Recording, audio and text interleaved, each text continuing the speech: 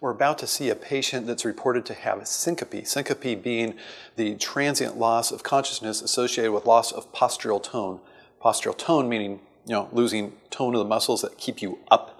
So essentially, he passes out and slumps. And we're going to see what this is all about because it can be something very serious.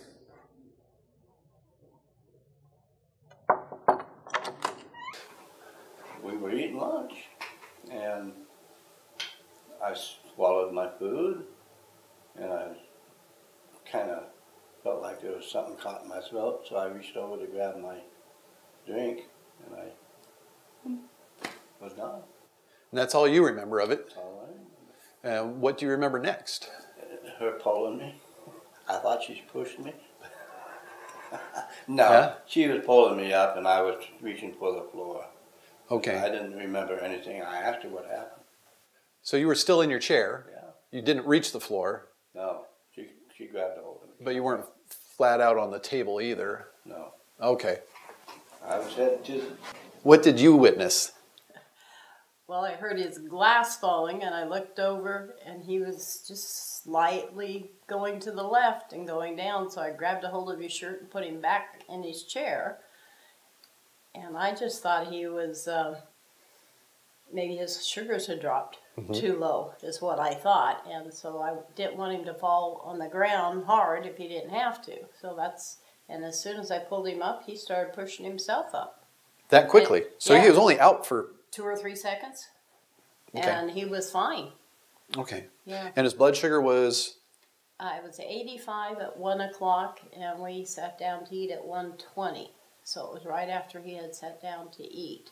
Did you check it after he passed out? No, Okay. I did check his blood uh, pressure, Okay. and it was 181 over 75.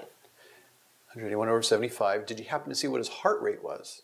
No, I didn't. It it felt like something was in my throat, and I I'd swallowed and I had you know, and then I just thought, well, maybe something caught, so I went to get a drink, and all I saw was black. Do you remember any trouble breathing? No, Okay. You do remember things going black though. Yes. You do recall that occurring. I did. Okay. Let me see what your vital signs were. When you came in today, your blood pressure was 130 over 67, pulse 64, respiratory rate 16, normal temperature. What I'm going to do now is your physical examination. So you have a normal neurologic exam. Your cardiovascular exam finds the, the murmur that's known. Uh, lung system seems to be clear. I'm not hearing any blockage there or uh, unusual sounds. We have to look for the cause. Now, the cause could be from something in the heart, if you're not having the heart pump enough blood up, or if there's some kind of a blockage. Uh, neurologic, if you're having stroke or TIA. Um, there's also problems with what we call orthostatic hypotension, where somebody will stand up quickly and the the blood vessels don't squeeze quickly enough to get all the blood up to the brain, and so they essentially stand quicker than the fluid can catch up.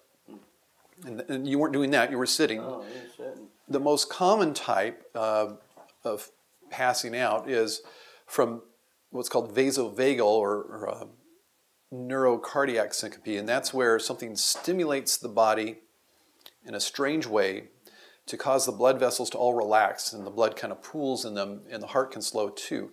And that can happen from all sorts of causes and, and sometimes associated with swallowing, uh, going to the bathroom or urinating, uh, coughing. So for you, we need to get an EKG and look for any problems there. But even if that's completely normal, if we find no other explanation for you passing out, we're going to ask the cardiologist to do a workup. What we're finding on the EKG is nothing super significant. I do recommend that you not drive until after we've had the workup with the cardiologist because if we can't tell you why it happened, we can't say that it's not going to happen while you're behind the wheel of the car. Thanks for joining us. We're glad that you were able to learn about syncope. If you haven't already, please subscribe to the Auburn Medical Group channel and share with your friends if they're interested in medical topics. Until next time, this is Dr. Mark Vaughan telling you to stay in good health.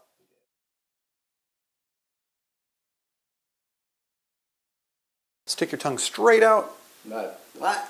straight out like that and back. Let me have your fingers. Is there any numbness on the fingers?